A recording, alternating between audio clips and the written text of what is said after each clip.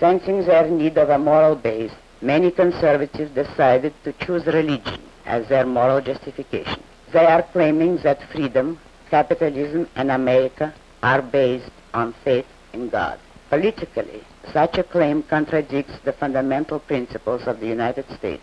In America, religion is a private matter and must not be brought into political issues. Intellectually, to rest one's case on faith is to concede that reason is on the side of one's enemies, to concede that there are no rational arguments to support the ideas which created this country, no rational justification for freedom, justice, property, individual rights, and they, they can be accepted only on faith.